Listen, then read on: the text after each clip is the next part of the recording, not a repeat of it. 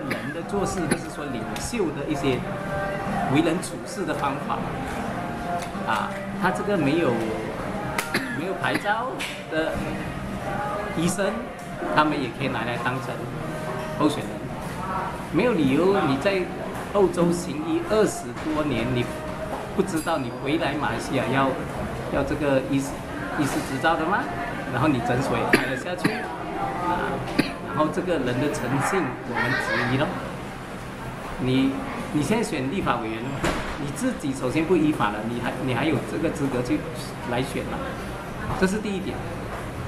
在澳洲啊，不管你是专业人士也好，什么人士都好，你连续居住二十四个月，你就可以申请 PR。